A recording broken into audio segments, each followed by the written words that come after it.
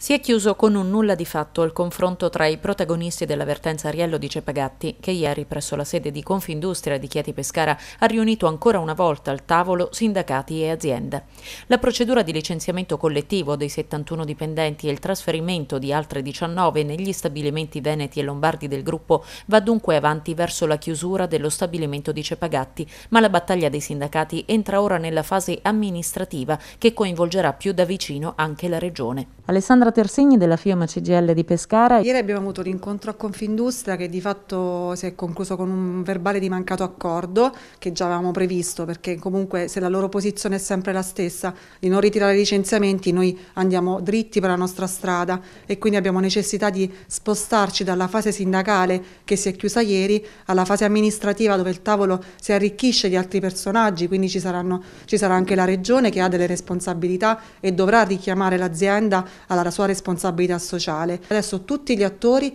dovranno lavorare anche su questo versante qui, la reindustrializzazione, nel caso gli ammortizzatori sociali, ma non accettare che in 30 giorni chiudiamo la procedura così. Riccardo Nunziato della Wilm Will di Chieti Pescara, quale scenario dunque si apre a questo punto anche per i lavoratori? L'azienda è stata ferma, non tornerà indietro e che il sito di Pescara verrà completamente chiuso. Con l'ennesimo dire, mancato accordo di ieri si apre il nuovo scenario con un tavolo alla Regione dove praticamente dovremmo entrare nel merito della trattativa della questione. Noi chiederemo naturalmente un sostentamento in più per i lavoratori eh, con una cassa in deroga, eh, il decreto Genova, che permetterà loro di sostenere sia loro che le loro famiglie. Avete avuto notizia di qualcuno che è interessato effettivamente a rilevare il sito? Ufficiosamente Confindustria ci dice che qualche imprenditore ci sia in zona interessato, però naturalmente noi aspettiamo l'ufficialità della cosa per sapere chi sia questo imprenditore,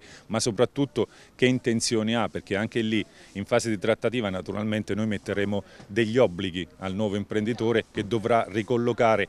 se non tutti ma una gran parte dei lavoratori che resteranno senza lavoro. Venerdì 15 ottobre intanto il segretario nazionale della FIOM CGL Maurizio Landini parteciperà all'assemblea che si terrà alle 12 davanti ai cancelli dell'Ariello di Cepagatti. Sarà un'assemblea pubblica dove abbiamo invitato anche i, delega i, delegati di altre vertenze, quindi ci saranno anche i lavoratori della Brioni e, e ovviamente eh, l'argomento sarà molto più allargato sulla delocalizzazione che è il tema del momento, sulle vertenze che il territorio sta vivendo